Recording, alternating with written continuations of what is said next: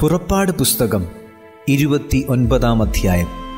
അവർ എനിക്ക് പുരോഹിത ശുശ്രൂഷ ചെയ്യുവാൻ അവരെ ശുദ്ധീകരിക്കേണ്ടതിന് നീ അവർക്ക് ചെയ്യേണ്ടത് എന്തെന്നാൽ ഒരു കാളക്കിടാവിനെയും ഊനമില്ലാത്ത രണ്ട് ആട്ടുകൊറ്റനെയും പുളിപ്പില്ലാത്ത അപ്പവും എണ്ണ ചേർത്ത പുളിപ്പില്ലാത്ത ദോശകളും എണ്ണ പുരട്ടിയ പുളിപ്പില്ലാത്ത വടകളും എടുക്കണം.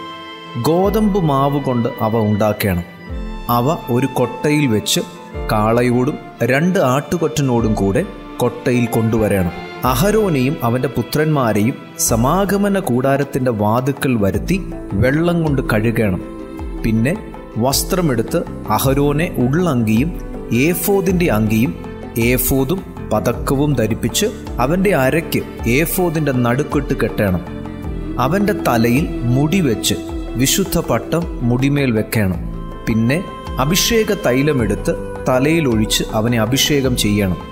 അവന്റെ പുത്രന്മാരെയും കൊണ്ടുവന്ന് അങ്കി ധരിപ്പിക്കണം അഹരോന്റെയും പുത്രന്മാരുടെയും അരയ്ക്ക് നടുക്കെട്ട് കെട്ടി അവർക്ക് തലപ്പാവ് വെക്കണം.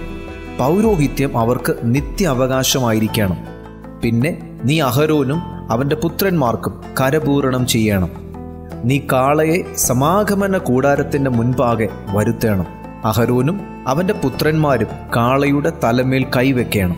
പിന്നെ സമാഗമന കൂടാരത്തിന്റെ വാതിൽക്കൽ യഹോവയുടെ മുൻപാകെ കാളയെ അറുക്കണം.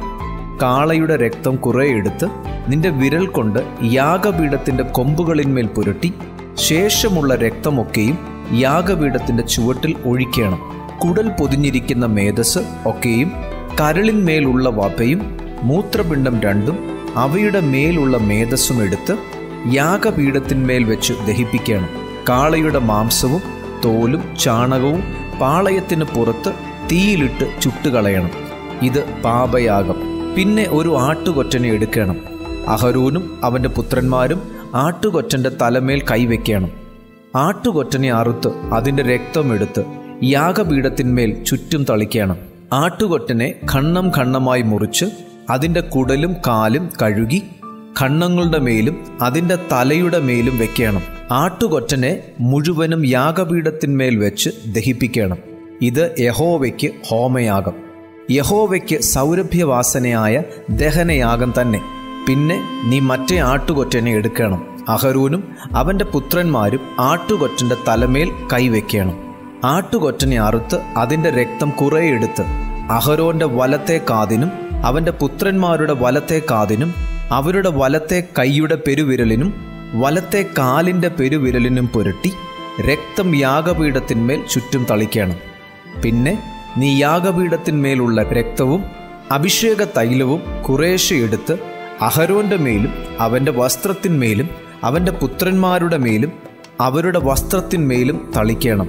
ഇങ്ങനെ അവനും അവന്റെ വസ്ത്രവും അവന്റെ പുത്രന്മാരും അവരുടെ വസ്ത്രവും ശുദ്ധീകരിക്കപ്പെടും. അത് കരപൂരണത്തിന്റെ ആട്ടുകൊറ്റനാകൊണ്ട് നീ അതിന്റെ മേധസ്സും തടിച്ച വാലും കുടൽ പൊതിഞ്ഞിരിക്കുന്ന മേധസ്സും കരളിന്മേലുള്ള വപയും മൂത്രപിണ്ഡം രണ്ടും അവയുടെ മേലുള്ള മേധസ്സും വലത്തെ കൈക്കുറുങ്ങും യഹോവയുടെ മുൻപാകെ വെച്ചിരിക്കുന്ന പുളിപ്പില്ലാത്ത അപ്പത്തിന്റെ കൊട്ടയിൽ നിന്ന് ഒരു അപ്പവും എണ്ണ പകർന്ന അപ്പമായ ഒരു ദോശയും ഒരു വടയും എടുക്കണം. അതുമൊക്കെയും അഹരോന്റെ കയ്യിലും അവന്റെ പുത്രന്മാരുടെ കയ്യിലും വെച്ച് യഹോവയുടെ സന്നിധിയിൽ നീരാജനർപ്പണമായി നീരാജനം ചെയ്യണം.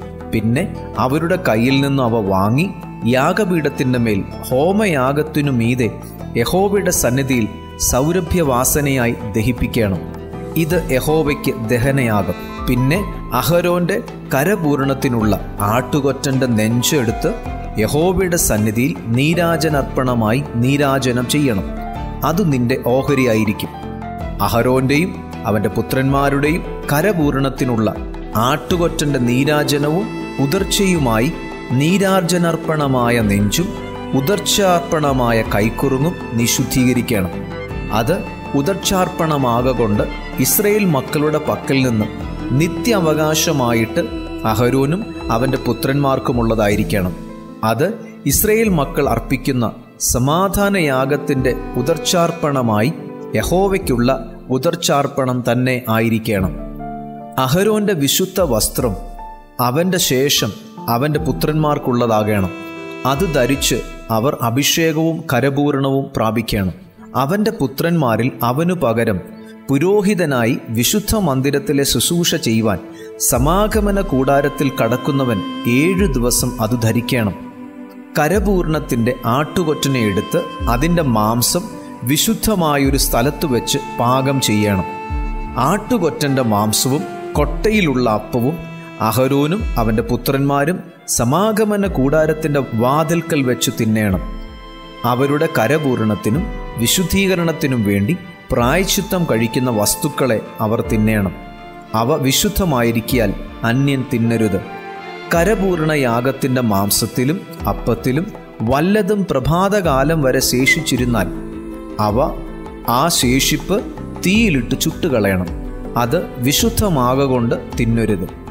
അങ്ങനെ ഞാൻ നിന്നോട് കൽപ്പിച്ചതുപോലെ അങ്ങനെ ഞാൻ നിന്നോട് കൽപ്പിച്ചതുപോലെയൊക്കെയും നീ അഹരോനും അവന്റെ പുത്രന്മാർക്ക് ചെയ്യണം. ഏഴു ദിവസം അവർക്ക് കരപൂരണം ചെയ്യണം. പ്രായച്ചിത്തത്തിനായി ദിവസേന ഓരോ കാളയെ പാപയാഗമായിട്ട് അർപ്പിക്കണം യാഗപീഠത്തിനും പ്രായശുദ്ധം കഴിച്ച് പാപശുദ്ധി വരുത്തുകയും അതിനെ ശുദ്ധീകരിക്കേണ്ടതിന് അഭിഷേകം ചെയ്യുകയും വേണം.